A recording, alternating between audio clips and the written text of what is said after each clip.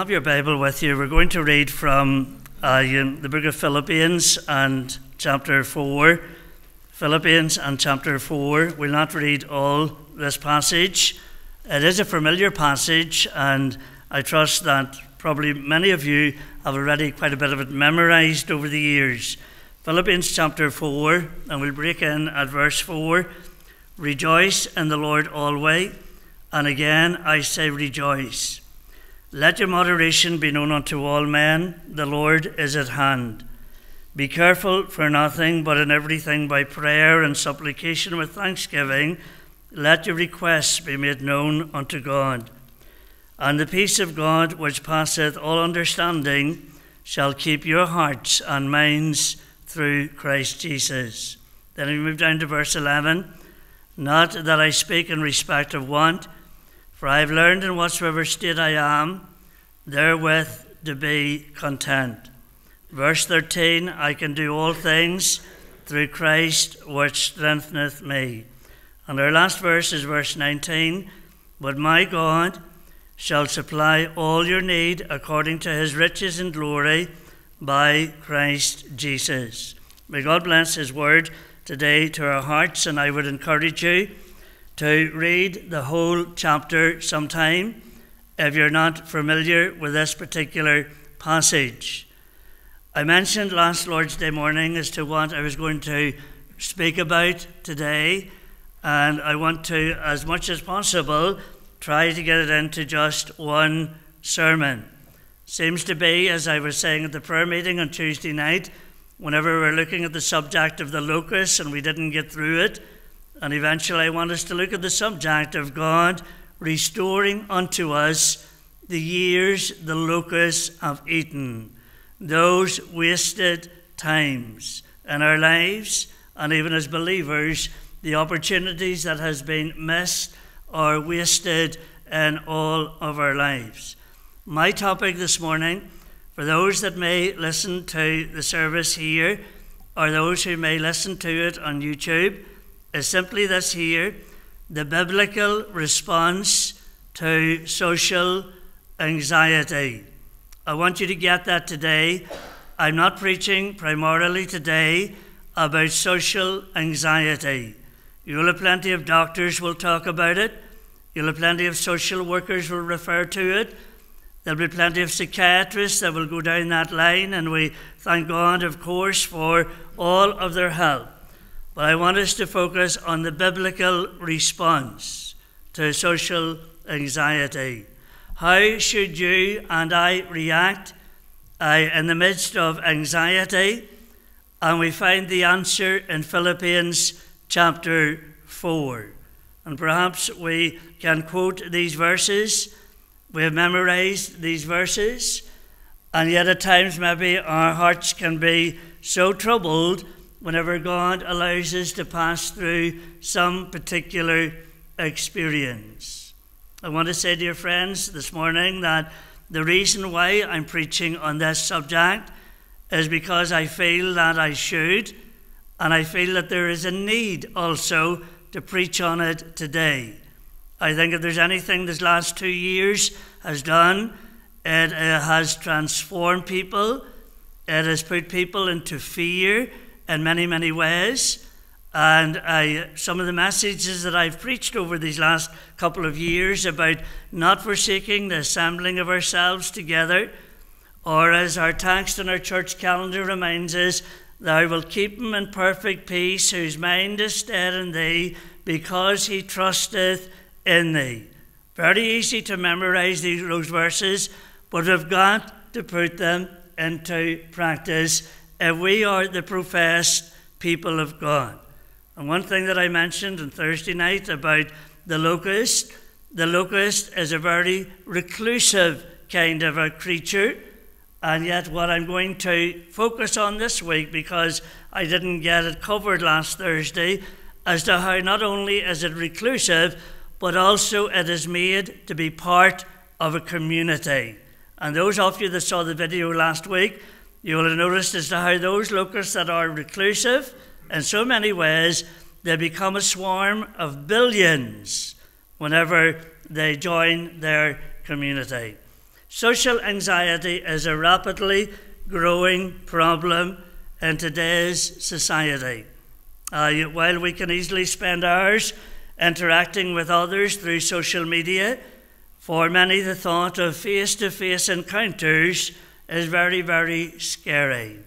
Now, a book that I would encourage any of you to read, I think I've got my last copy returned to me again, is a book that was sent out by CARE. I bought a couple of copies where it just says, The Robots Are Coming.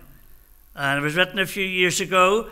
It mentioned in the next 10 years, I probably bought it about four or five years ago, as to how uh, the people of this world are becoming like robots.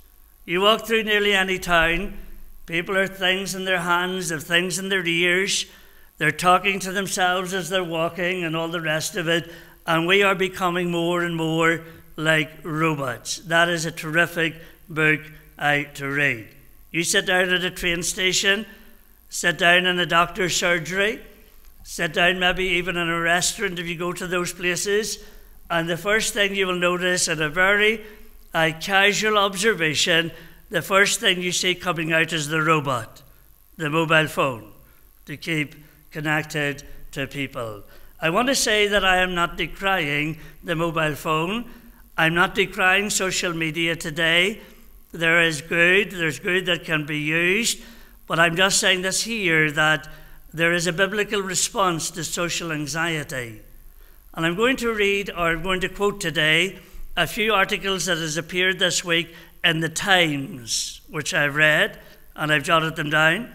They've also appeared in some other newspapers, and I believe that as parents or grandparents or as neighbours, we need to know what the biblical response is whenever someone in our families or our community is facing social anxiety. Now, I know, of course, those that face social anxiety who do not come to the house of God, but they've no problem playing sports, they've no problem doing other things. And so that tells me something else, which I'm going to focus on about the response, the biblical response to social anxiety. Now, the signs of social anxiety abound. Uh, there's some indicators whenever we face them. Uh, anxiety is uh, something that maybe comes to the fore whenever you dread answering the door or the telephone. Now, I know that you in the church here know that at the start of COVID, I shielded for 12 weeks. My hands were bleeding because of that stuff that you put on them. And I, uh, after 12 weeks, I said, I don't think that God wants me to live like this. I think if I got a ladder today, no matter what happened in the future, I don't think I'd be going down that route again, to be honest. But I say this here, dear friends, I, and social anxiety, you can dread answering the phone or even the telephone. You don't want perhaps anyone in your home isn't that the way so much of the community is today? Bound and shackled uh, because of what has been happening over these last couple of years. You avoid events out of a fear of embarrassment. Now, anxiety is triggered by many things, including some physical conditions. There may be psychological conditions also. But depending on the disorder, there's much treatment that is offered out there but I'm going to skip eventually to the biblical response. There's counseling. I'm not decrying counseling today, but again, I believe that our best counseling will be found in the Word of God. We know it can uh, trigger uh, certain responses depending on the disorder, and so the treatment can be self help treatments. And probably if you attend a counsellor, that's probably the main one that they will go for is self help. Looking at your life, evaluating your life, asking yourself, are you taking on too much in your life and all the rest of it? But I don't know whether a counsellor will ever ask you, are you involved too much in the work of God? No, a secular counselling, I think, will take an opposite view. There's also professional therapy, there's medication, or there's a combination of all these. And I'm not decrying any of them for a moment. But for the believer, dear friend, reading God's Word, prayer, and fellowship will be important ingredients in overcoming social anxiety. There are some general characteristics of social anxiety in public places, such as work, such as meetings, and so on. And we all know the effects of it in the work of God, and the effects of it even upon children, sadly, that all this last two years has produced. And it's sad. And you will have read in the news this morning that there's a great percentage of children that are waiting to see psychiatrists. And of course, the outcry in Northern Ireland is this week there's a tremendous shortage of them. Again, thank God for them and for the help that they can give to individuals. We know that even shopping, people with social anxiety feel as if everyone is watching them and staring at them, even though, uh, rationally speaking, they know that can't be true. In fact, they can never relax whenever others are around. It always feels as if others are evaluating them, being critical of them, or even judging them in some particular way. Isn't that so true? I think you'll have to agree with that. Many with social anxiety simply must be alone, must be alone. I close doors behind them. And I'll move on eventually and say that is not God's way for any individual. Yes, of course, a person can go into a very dark place, maybe with depression, where, like in Psalm 42, they want to be alone but then the psalmist came out of that depression in Psalm 43, whenever he goes to the house of God. And that was the important thing in the life of the psalmist. In the midst of his depression, he heads to the house of God. And he says he will offer uh, the sacrifice of praise unto God. Let me ask or try to look at today the cause of social anxiety. There's lots of symptoms out there, but let's try to diagnose the problem. Where is this fear coming from? Where is it coming from? And I can tell you, dear friend, the amazing thing is, much of this fear is amongst Christians. And that to me tells me its own thing also. Much of the fear is, I'm not saying it all is, but much of it is whenever God has told us to fear not. Do we know better than God? Is the question. And of course we don't. Where is the fear coming from? And again, I've said that on our church calendar, remember that little text, Thou wilt keep him in perfect peace whose mind is stayed on thee. The problem today, and I would encourage you to listen to that sometime if you don't remember it, it's on YouTube. The problem is for many believers, their mind is not fixed on God. And that's why they're not at peace. Their mind is fixed on their job, their family, their security, everything else. Their mind is of the God who saved them. Now, you may agree with me today, you may disagree with me today, and that's fine. But I'll preach the Word of God as I find and I believe the Scriptures teaches. We minimize sometimes over the social anxiety, our own self worth. We feel ourselves nothing good, nothing true, nothing beautiful about us. And this will show itself in very condemning thoughts like, look the way I live. I, the way I, I look at the life I live, look at the way I look. There's no good in me. There's nothing I can do with my life. If there's one thing I feel for, and that is children that are growing up and children that have grown up in homes that has produced an inferiority complex. It's not always good to keep putting a child down. I've said before, there's such a thing as the transference of feelings. If you love your children, there's things you'll protect your children from. There's one thing that we've always said about doing in the ministry, and that was that our boys would never be burdened with our problems and our concerns. That would never head out to school weighed down by our cares, because I wouldn't feel for a moment, nor all of either that that would be right. Sadly, a lot of children do.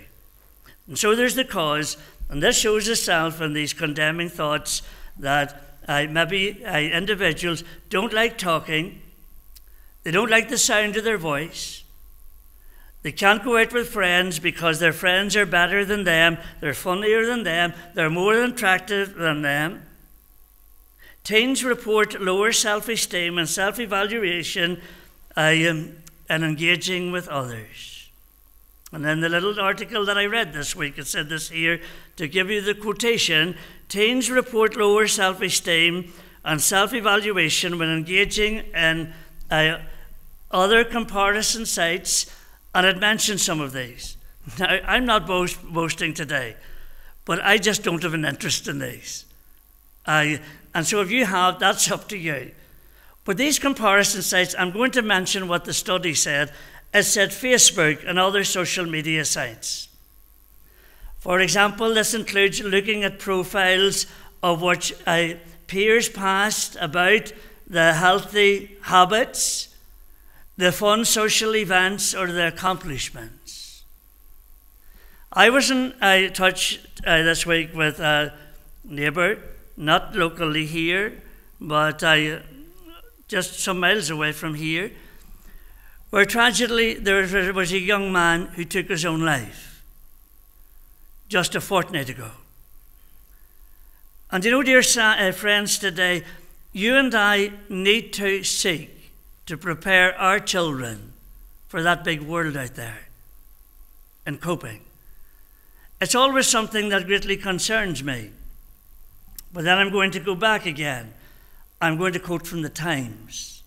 Now, the reason we have the Times is because a family member bought us the Times. And so that's why, and I must say, we really do enjoy it. Gives you an idea as to what's happening in the world. And so, if you're reading it this week, you will notice there's an article about teenagers. Now, you remember that Tony Blair, our former Prime Minister, Tony Blair, whenever his son Euan was caught with drugs many, many years ago, Tony Blair made a statement and he said that being a Prime Minister is a very hard thing, but being a parent is more difficult. He had that experience. But this article said this here teenagers and social media have increased exposure to harm, social isolation, depression, anxiety, and cyberbullying. Now, that is not my quote, that's in the paper. How social media affects teenagers' self esteem. The experts worry that social media and text messages that have become so much part of teenage life are promoting anxiety and lowering self esteem. The survey results found that, and I'm quoting these, I don't know what these are, you probably do. The survey results found that Snapchat, whatever that is, Facebook, Twitter, and Instagram all led to increased feelings of depression, anxiety, poor body image, and loneliness amongst teenagers. Now I'm going to quote from the Child Mind Institute. And I said this here about indirect communication. Now, friends, today, I've heard many comment that even grandchildren, even whenever they're visiting, as to how they sit on mobile phones today. And so many don't know how to communicate. Now, I know if I was visiting in some of somebody's house and somebody sits watching a television, they would have to tell me something. You're in the road. You're in the road. And you go to read and pray and the television's blaring away, well, I will imagine that you're probably wasting your time. But about indirect communication, that teens are masters at keeping themselves occupied in the hours after school, this article said, when not doing their homework, and then in brackets, even whenever they are. They're online, on their phones, texting, sharing, trolling, and scrolling for one thing, modern teens are learning to do most of their communication while looking at screens. I don't know whether you agree with that or not, but again, that's an article this week. Certainly, speaking indirectly creates a barrier to clear communication. But that's not all it said. It said learning how to make friends is a major part of growing up. Making friends. God does not intend you to live a reclusive life, not for a moment. Friendship requires a certain amount of risk taking because you take risk whenever you let someone become part of you. And this is true for making a new friend, but it's also true for maintaining friendships. It takes courage at times to cross over those bridges. Using, of course, phones and other social media, maybe we don't have to do that. But at times we maximize others' perceived assessment or judgment of us. Our greatest fear is that others are having the very same thoughts about us as we are having ourselves. No matter how much we remove ourselves from society, we can never escape from our own doubts, our own fears, our own self hatred. For some with social anxiety, they've been victimized in the past by some sort of trauma or by an overbearing, critical parent. What causes anxiety? Anxiety is caused by real or imagined threats to our well being. Threats such as social rejection, I don't fit in with anybody. Threats like physical injury, disease, poverty, death, and a list of others. I want you to just take note today because I think that it's important to mention this that anxiety has three main elements. The first is insecurity. Insecurity. Where someone feels something bad is going to happen to me. The second is helplessness. There's nothing I can do. The third is isolation. There's no one there to help me. And that's not the best place to go. And maybe, dear friend, there's a parent here today, or maybe you're an individual and you're experiencing that insecurity, helplessness, isolation. Emotionally, they causes as much anxiety as if they were imagined, even or if they were real. Now, I'm going to quote, dear friends, and I'm, I must say that there's part of this I'm not going to quote, but I would encourage adults to look it up. Because in a meeting like this, I wouldn't quote this part of it. But I will encourage you to look it up as an adult. This is in the Times on Tuesday past. It's under the title Most Under Five Spend Too Long Staring at Screens. Too much time in front of television or in smartphones, according to this research. This is research, and you can determine whether it's fact or not. But it said this here that screen time has been linked to delayed development of skills such as language and sociability. Now, I'm quoting from the Times, and so maybe if you're on the internet, you can, you can read this. It goes on, the study looked at 90,000 children, that's a lot of children, from 63 studies across the world, including the UK. Now, the World Health Organization says children below the age of two should not look at screens at all. It said the guidelines suggest that those aged two to four should be limited to screens to just one hour per day those aged two to four. Now, it's difficult to uh, maybe uh, evaluate all this, but this is the survey that was done in the Times. Difficult to monitor what is being watched, maybe, in the news. But in the news, again on the 15th of February this week, it said this here about a children's game. And I'll give you the name of the game and if you as a parent feel that you have children and you need to check out what are children actually watching these days, well, then you, you have a responsibility as a parent. This is in the Times here. Uh, it, was on, uh, uh, it, was, it was being watched on the news in the BBC on the 15th of February. The children's game, the title is The Children's Game with a Sex Problem. Now it goes on and says that in that game there's a naked man wearing just a dog collar and a lead. He's led across the floor by a woman in a bondage outfit. two strippers dance next to a bar, and I wouldn't go on as to what happens next. But isn't it amazing that children could be watching even? And I said this here, this is on the BBC website. It is one of the most popular children's games in the world. One of the most popular children's games. Is it any wonder that this world of ours and the whole family situation is crumbling all around us? And so I'll say to you, you do have a responsibility. Oh, it's very easy to hand a child something and have quietness and so on, but I want to say we need to know what's been watched. The article said, particularly worrying, is children and adults potentially socializing together in open spaces. Isn't that something? Now I come to the biblical response, and it's just two minutes to half twelve, so I can't get it in. well, I say this here, I'm going to just leave you the first part, you can think about it. The biblical response COVID, I believe, has produced great fear, and also has the media.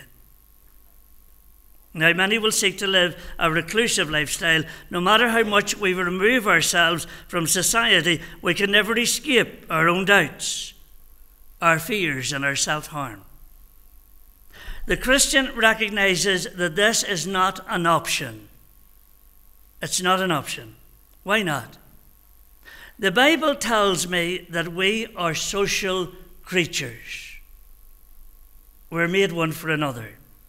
And that's why God's people, and I make no apology whatsoever for saying it, that God's people who can go to the hairdresser and go to the barber and go out shopping and all the rest of it, but this fear, whenever it comes to the house of God, there's a bigger problem. That's a symptom of another problem. And so I want you to say that, uh, to, to notice that we are social creatures. We're made to interact with others. We're image bearers of God, and we will thrive of interaction. Now, I'm going to conclude with this quote, and if you find anything different in the Word of God, you come to me and put me right. I think that's a very fair way to say it. That in the week of creation, amidst all the benedictions that was going, God makes this world, and He goes on and He keeps saying, and God saw it was good, it was good, it was good. But then you come to chapter 2 and verse 18. And what does God say? It's not good. And what he's saying is, it is not good for man to be alone. Not only are we created for community, but we're also called to be part of that community. Well, Christianity is undeniably personal it is not all private. Christianity is not all private. Oh, I've met Christians in the past have said to me, I don't have to go to church to be a Christian.